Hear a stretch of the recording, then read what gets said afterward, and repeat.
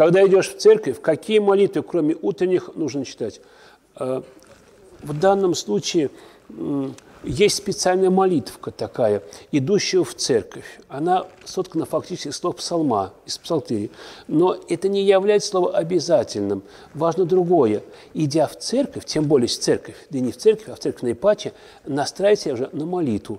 Дух свой правильно формировать, к молитве. Поэтому, скажем так, сам факт – молиться. Если я застал поколение стариков, которых уж теперь нету, они в церковь молились, ходили молиться только по одному – Никогда даже вдвоем не ходили. А если вдвоем, то, то не в ряд, а гуськом. Вот он идет, а я через 4 метра после него. Зачем?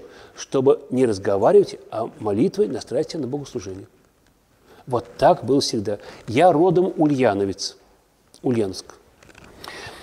В Ульяновской области, в сторону Москвы, на окраине, есть э, районный центр Сурская. Раньше было Промзино назывался городок место явления чудотворный кон Николая Годника, его святых колодцев, и место, где совершено им потрясающие чудеса, которые по сей день там бывают. Когда Господь возвал меня, мне было 15 лет.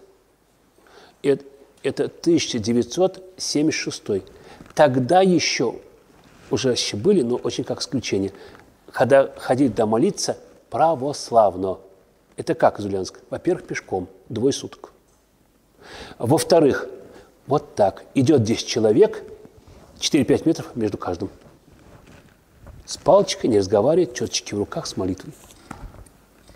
Вот такое понимание было, такое отношение. Поэтому самое главное в этом даже не что, а сам факт. Идя в церковь, тем более, молиться обязательно. Молитвенно себя настраивать. Тем нужно не суетой же расхватываться и говорить глупости. Это понятно. А я бы сказал больше. Из церкви исходя – лучше бы не терять полученной благодать, в молитве себя держать и дальше. Особенно после таинства причащения.